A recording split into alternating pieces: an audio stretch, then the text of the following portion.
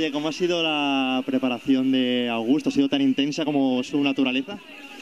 Sí, la verdad es que sí, han sido tres meses y medio sumergidos en mi casa, eh, eh, liándome la manta con esos guiones, eh, esas maravillas de guiones, eh, gracias a César Gellida, que es que es un pedazo de autor que escribe también, y luego han escrito unos guiones también muy buenos, y bueno, tener ese espacio como actor, ya que siempre hasta ahora he hecho del bueno, el ético, el moral, y tener hueco para hacer totalmente otra cosa que, que ni me podía imaginar que y llegó, ¿no? Y algo tan bonito como, como Memento Mori. Llegó, llegó por fin. Hablamos de tres meses encerrados con Augusto. Bueno, luego la serie otros tres, o sea, ahí ahí bueno. ¿Cómo ha sido esa relación con él? ¿Qué le has aportado y qué te ha aportado a ti? Pues, ¿qué me ha aportado a mí? Pues interesante. Pues esa calma profunda, ¿no? Que, que tiene Augusto, ¿no? que a veces que sí que la puedo envidiar de lo poco, porque lo demás eh, yo, no sé, me siento muy bien conmigo mismo, me llevo bien, más o menos, tengo mis cosas, como todos, pero... y este señor, pues, eh, el objetivo era que la gente empatice con él, lo entienda, pero que no comparta, porque si no es eh, un asesino más, ¿no? Y, pero sí que entienda el por qué este señor llega pues a comportarse como com- se comporta y acabando siendo lo que es. Efectivamente, y llega al límite en muchas de las escenas, pero a ti te ha supuesto llegar al límite durante el rodaje.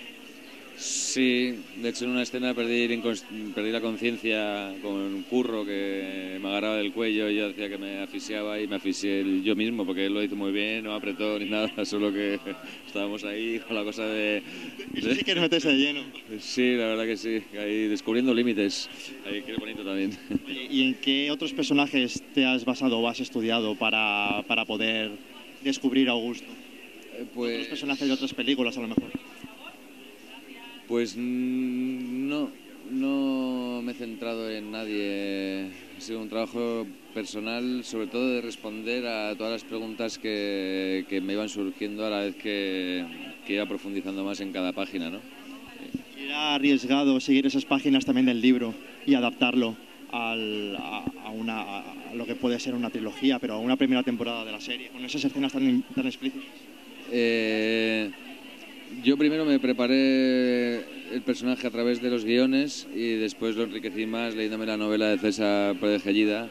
Y lo hice de esa manera porque para no marcar ya un camino, dejar a mi imaginario eh, de manera limpia, a ver qué los guiones me transmitían y me daban y después, total, como la novela la tengo ahí, me la puedo leer en cualquier momento y después de hacer ese trabajo, eh, seguir trabajando y leerme la novela para ver detalles y cosas que a mí no se me han ocurrido, eh, pues eh, las que me interesaban sacarlas y, mm, y enriquecer todavía más el personaje.